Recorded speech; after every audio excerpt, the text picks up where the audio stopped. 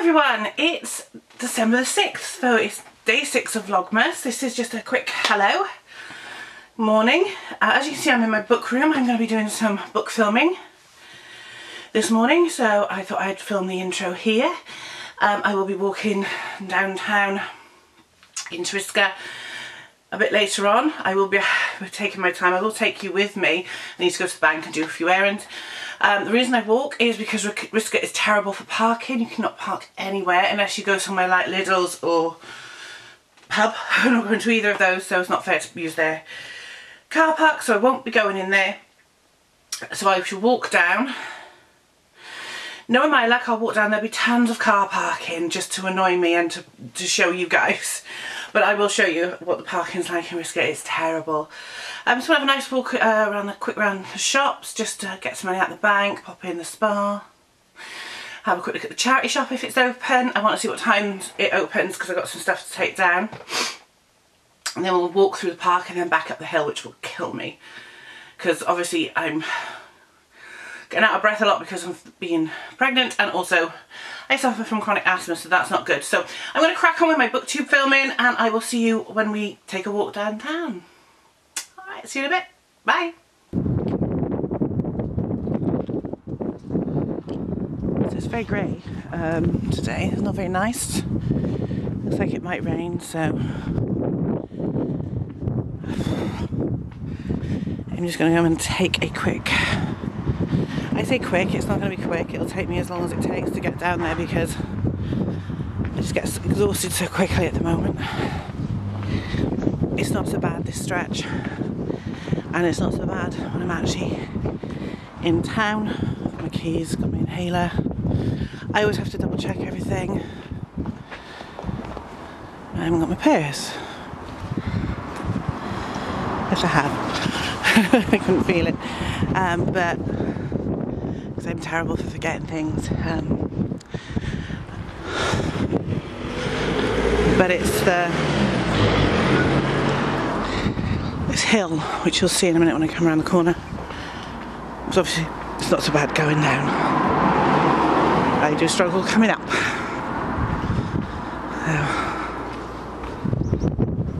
There we are. So this is the hill. It's, it doesn't look very hilly. And grand scheme of things for Wales, it's not. Uh, but yeah, I'll see you down in town. So remember what I said about parking, it's usually really quite hard. It is, as you see, there's quite a lot of cars parked on this road and we're not actually in the town yet. Um, saying that though, like I said, there are actually a space. There's a space along here, but let's have a quick look at the park over there. Very nice. We'll walk through the park later on the way back. Um, but when we get around the corner um, it might not be too bad but we'll see so there's a space here so here we are normally when you come around this corner you see there's a van parking in a space which is fine there are cars parked all up this stretch of pavement and you can't get past normally um, might be because it's later in the day and some of the independent shops in Risca shut um, at one o'clock on a Wednesday. Whether or not they all will, I don't know. Obviously Greggs is open. We're not going to buy anything in Greggs. So. so I'm surprised there's actually spaces. So I got my cash out as planned. I'm going to walk across through the park. I couldn't think of the words in a minute. We'll go across there. But this is the charity shop that I donate stuff to. I was just checking the times. So it's Wednesday they shut at 1. So Thursday they shut at 4, Friday 3 and Saturday 1. So that's cool. And then Monday and Tuesday they're open 9.30 to 4. As long as I know what time it is, I can do it. So it's gonna cross the road. It's quite a busy road, so I'm to turn you off for a minute. We have got Christmas decorations up in Risca. There's the tree. But of course it's uh, daytime, so Won't be able to see anything. Let's just take a stroll through the park.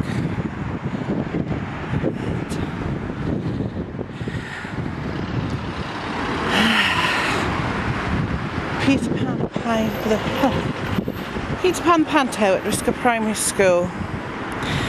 That's this Saturday, people, if you're interested. So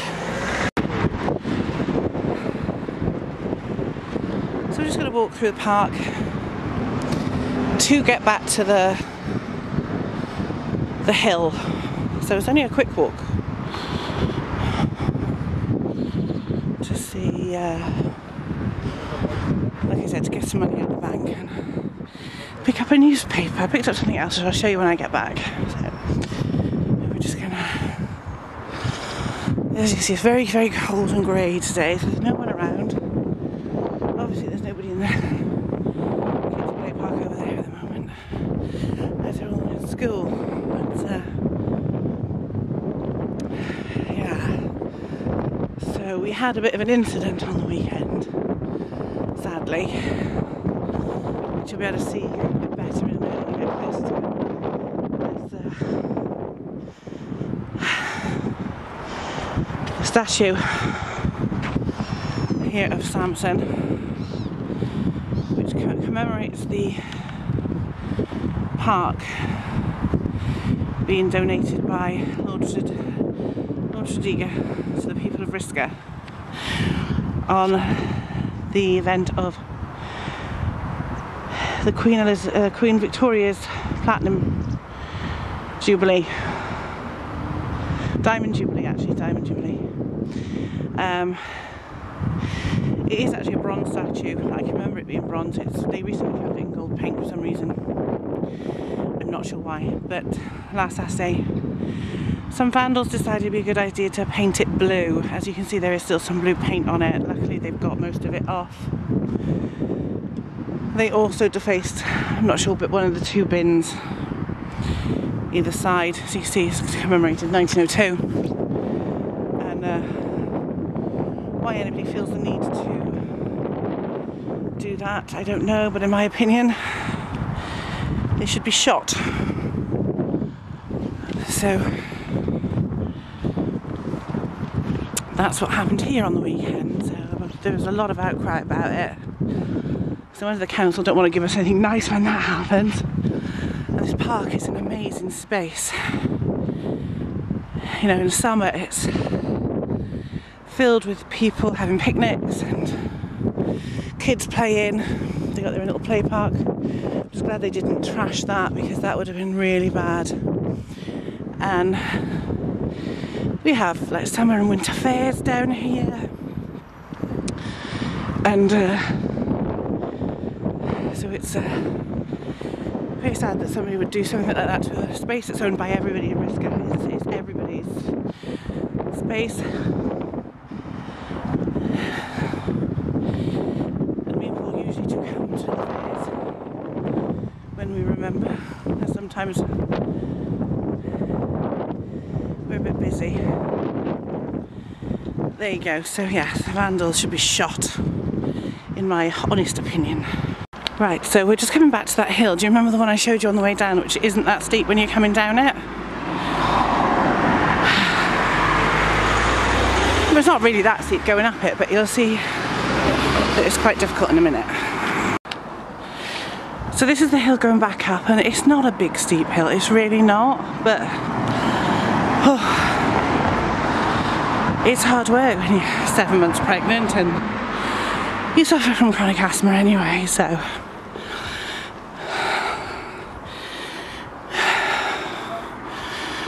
Fortunately, I live the entrance to where the, white car is. You can't really see it.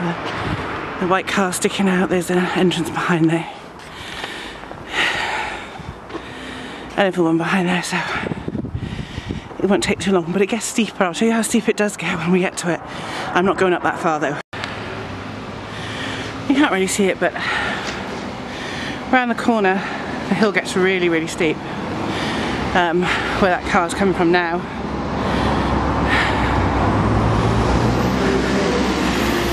Where the bus is going.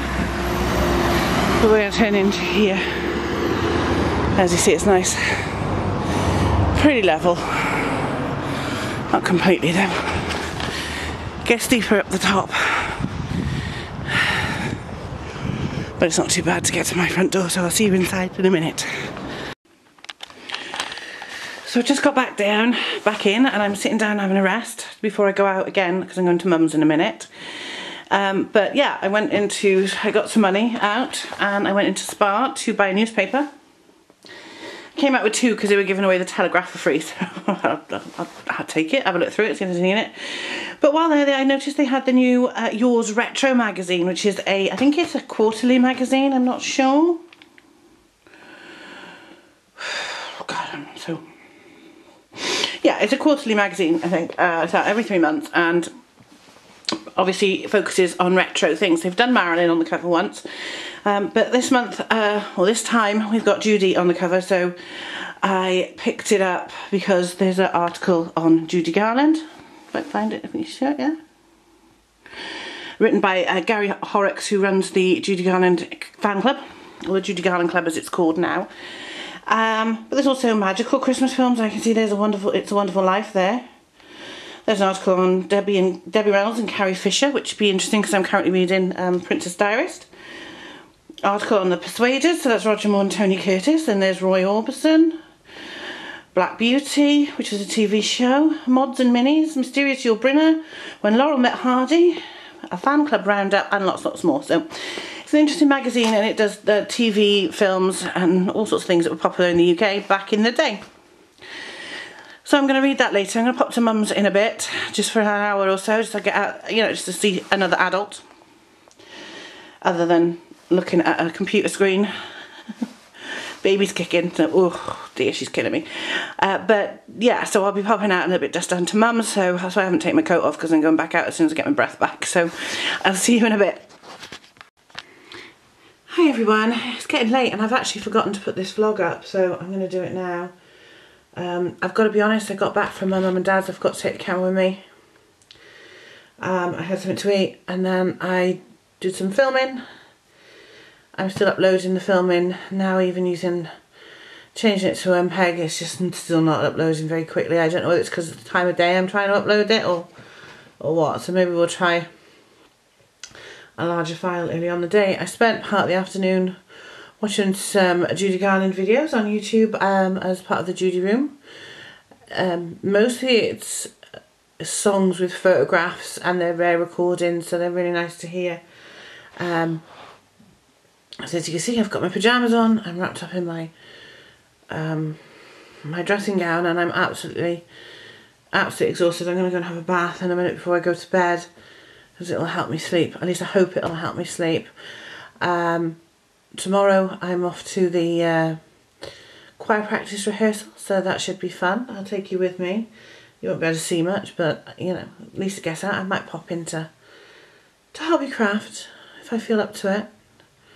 Um, I'm not feeling too good today. I'm just feeling a bit out of sorts, um, which is probably why I forgot to to finish the vlog off. So, yeah, so I filmed some videos. I've uploaded a couple. Um, bit of bit of colouring, obviously some reading, uh, but generally I just spent the evening shit chilling out um, on the sofa with Paul, who's now up in bed because he's got work tomorrow.